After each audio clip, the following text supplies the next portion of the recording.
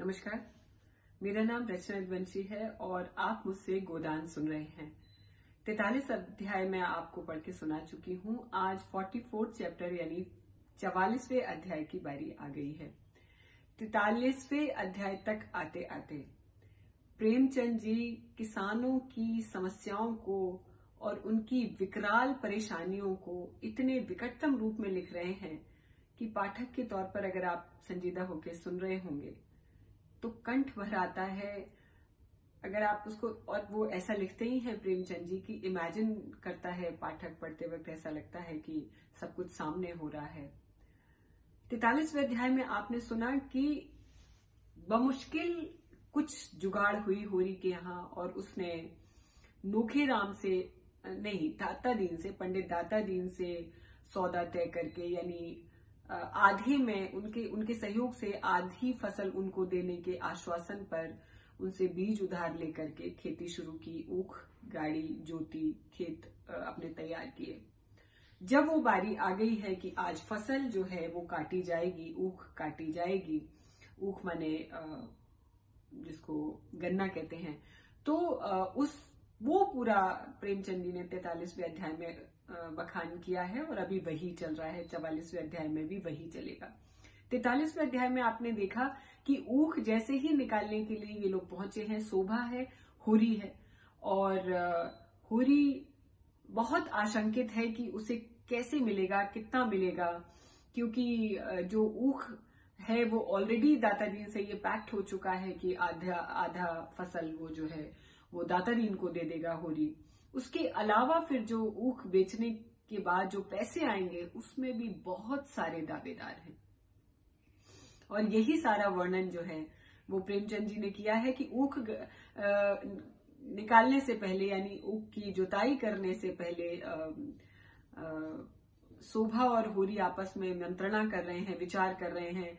अपनी शंकाओं को व्यक्त कर रहे हैं कि कितना उन्हें हासिल होगा। होरी चूँकि बहुत अनुभवी है, उसे पता है कि दशकों से क्या होता आया है, जब फ़सलें तैयार हो जाती हैं तो किस तरीके से गिद्ध की तरह झपटते हैं सारे आसामी, जिसमें सूदखोर होते हैं, जिसमें राय साहब के कारिंदे होते हैं। कितना होता है खेतों में, कितना बचता है, कितना मिलता है, कितना घर जा पाता है, उसका इतना दयनीय वर्णन प्रेमचंद जी ने किया है। कि आप देखिए कि आपको याद होगा, मुझे अभी भी याद है कि 120 रुपए का हिसाब लगाते हैं होरी और शोभा आपस में जब बातें कर रहे हैं कि 120 रुपए हाथ में आने चाहिए। दाता दीन अपनी गाड़ी पहले ही लगा देते हैं मिल के दरवाजे पर और वहाँ जैसे जैसे होरी की ऊख पहुँच रही है, वो अपना आधा तोल के निकाल ले रहे हैं। और जैसे ही ये सब निकालने के बाद जब उसमें भी फिर बच जाता है कि तुमने इतना मुझसे लिया था, उसका ब्याज समेत इतना हुआ, कुल मिला के पच्चीस रुपए होरी के हाथ में आते हैं। एक सौ बीस रुपए में से। इस बीच में प्रेमचंद जी ने यह भी दिखाया है कि ऊख निकालते वक्त जो सवाइन है, जो दुलारी है, वो भी सूदखोरी करती हैं, वो भी आ गई थी। उन्होंने भी तमाम झंझट किया, बहुत वहाँ पर क्लेश किया कि मेरे पैसे दे दो और तो होरी ने बहुत याचना भी की कि खड़ी ऊख से तो पैसे नहीं मिल जाएँगे, मुझे निकाल लेने दो। इतने सारे झंझट मतलब कैसे कैसे तो फ़सल कर पाई होरी ने, शोभा ने भी। फिर उसके दावेदार इतने आ गए। कुल मिला के अंत में ये हुआ था, तैतालीसवें अध्याय में, कि होरी के हाथ में पच्चीस रुपए थे, जिसको वो देख रहा था, बेबसी के नज़रों से कि इसका वो क्या करे। और उसमें एक पंक्ति कही भी है उसने कि आप ही रख लो, मैं क्या करूँगा इसका। जब वो ये कहता है तो पंडित दाता दीन बहुत तलखी में पैसे फेंक देते हैं और कहते हैं कि तुम, तुमको क्या लग रहा है? तुम मुझ पर एहसान कर रहे हो, मुझसे जमा राय साहब ले लेंगे, ये ले लेंगे और मेरा तो ये है और मैं तुम्हारी मदद करता हूँ। कुल मिला के प्रताड़ना, टॉर्चर, बेबसी, भूख और यही सब किसानों के हिस्से में आ रहा है और होरी उसका प्रतिनिधित्व कर रहा है उस वर्ग का, जिसे सर्वहारा कहा था निराला जी ने, मुझे याद आ गया। जो अपना सब कुछ लगा देता है, लेकिन सब कुछ हार भी जाता है। अंत में तैतालीसवें अध्याय के एक गिरधर करके किसान दिखाया है, प्रेमचंद जी ने, जो ताड़ी पीकर आया है, जिसके सारे पैसे लुट चुके हैं, और कुछ भी हाथ में नहीं है उसके तो शोभा और होरी, शोभा को थोड़ा सा रेवोल्यूशनरी दिखाया प्रेमचंद जी ने। वो पूरी रणनीति बनाता है कि मैं बताऊँगा ही नहीं। इन साहूकारों को कि मेरी ऊख निकल गई है, मैं ऐसे कर लूँगा, मैं छिपा के कर लूँगा। तो होरी उससे कहता है कि तुम ये सब कुछ नहीं कर पाओगे, ये सब आपस में मिले जुले हैं, सबका नेक्सस है आपस में। सबके एक दूसरे से तार जुड़े हैं, सब एक दूसरे को सूचित कर देते हैं और जिस दिन किसान के हाथ में हथेली पर पैसा आने वाला होता है, उस दिन ये सब गिद्ध बनकर एक साथ झपटते हैं और सब कुछ ले जाते हैं। वही हुआ, शोभा को भी कुछ नहीं मिला, होरी को कुछ नहीं मिला और जो गिरधारी, जो गिरधर करके किसान लास्ट में दिखाया है, तैतालीस मतलब मैंने अंत में पढ़ा था, वो ताड़ी पी के आया है तो होरी आश्चर्यजनक शब्दों में उससे पूछता है कि तुमने, तुम्हारे तुम्हें अगर पैसे नहीं मिले तो तुमने ताड़ी कहाँ से पी ली? तो वो कहता है कि पाँच पैसे मैंने अपने दांत में दबा लिए थे कि कुछ नहीं मिलेगा तो कम से कम एक रात मेरी कट जाएगी ताड़ी पी करके, जिसके साल जिसका पूरे साल इंतज़ार करता हूँ, वो उस रात भी मुझे कुछ मिलना नहीं है। तो मर जाने से तो अच्छा है कि ताड़ी पी करके अपने गम को भुलाया जाए। चवालीसवा अध्याय, सुनिए आगे।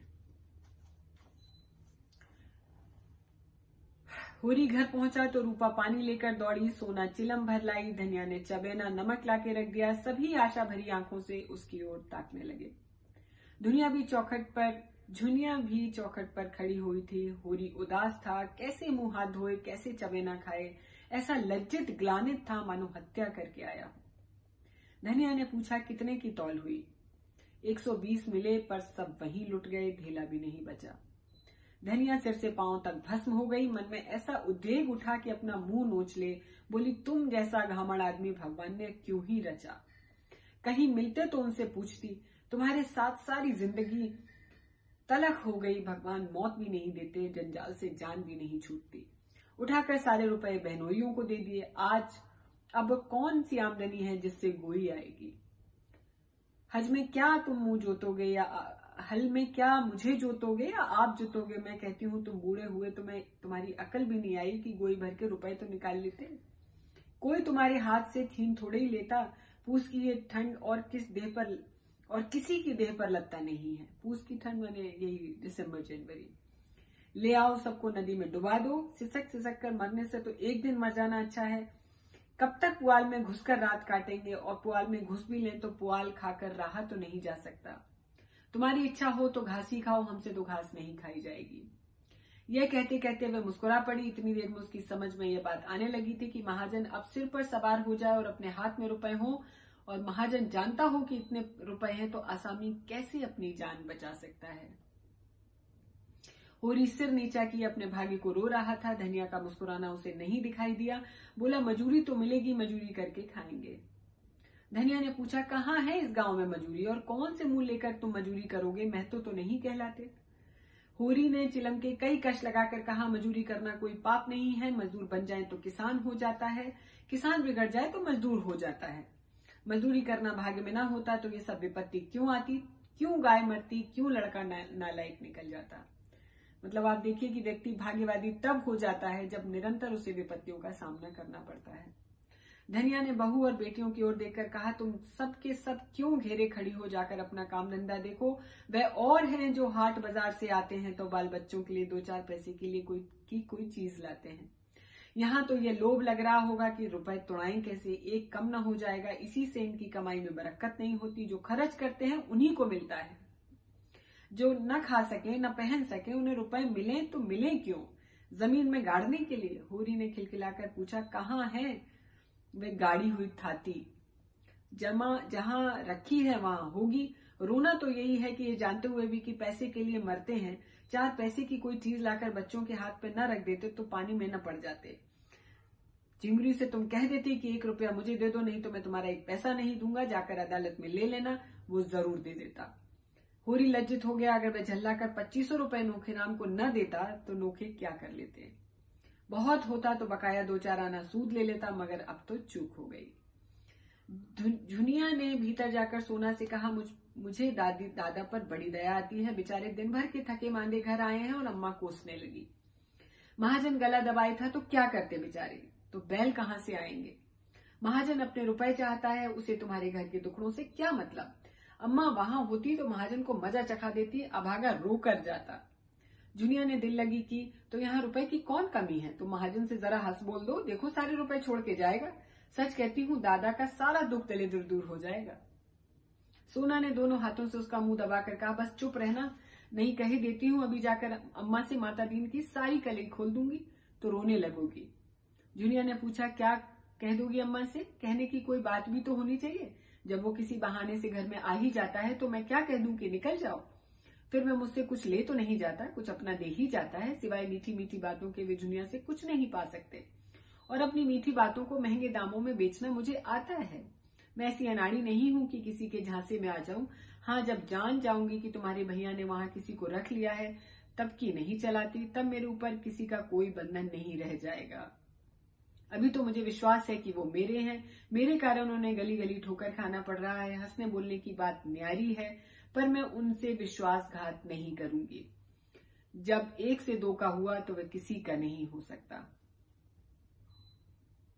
जो एक से दो का हुआ वो किसी का नहीं हो सकता। शोभा ने आकर होरी को पुकारा और पटेश्वरी के रुपए उसके हाथ में रखकर बोला, भैया, तुम जाकर ये रुपए लाला को दे दो, मुझे उस घड़ी न जाने क्या हो गया था?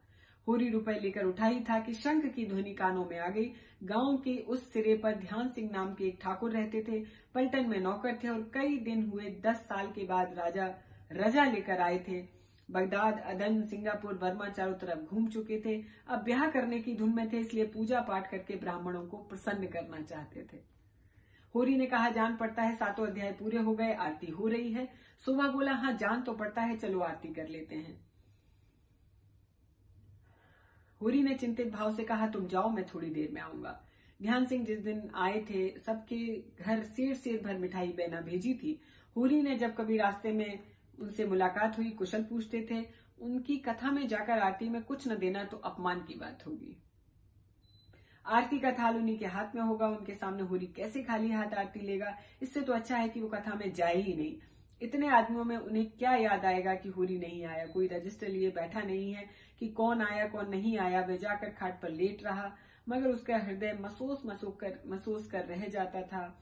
उसके पास एक भी पैसा नहीं है, तांबे का भी सिक्का नहीं है, आरती के पुण्य और महात्म का उसे बिल्कुल ध्यान नहीं था। बात थी केवल व्यवहार की। ठाकुर जी की आरती तो वे केवल श्रद्धा की भेंट देकर ले सकता था, लेकिन मर्यादा कैसे तोड़े, सबकी आँखों में हेठा कैसे बने? होरी की मर्जाद और सबकी आँखों में उसको बड़प्पन दिखाने की ललक कहाँ तक ले आई है? सहसा वह उठा, लोग, क्यों मर्यादा, वो क्यों मर्यादा की गुलामी करे? मर्यादा के पीछे आरती का पुण्य क्यों छोड़े? छोड़े? लोग हंसेंगे तो हंस लेंगे। उसे परवाह नहीं है। भगवान उसे कुकर्म से बचाए रखे, वो और कुछ नहीं चाहता। अब वो ठाकुर की ओर, ठाकुर के घर की ओर चल पड़ा था। मैं देख पा रही हूँ कि अगले अध्याय में प्रेमचंद जी जो है, फिर से हमें किसी दूसरे परिवेश में ले जा रहे हैं। इसलिए मैं आज ये चवालीसवा अध्याय यहाँ खत्म कर रही हूँ। अगले सप्ताह पैतालीसवें अध्याय में आपसे फिर मुलाकात होगी। बने रहिए रचना के साथ और गोदान में प्रेमचंद जी के साथ। नमस्कार, बहुत शुक्रिया।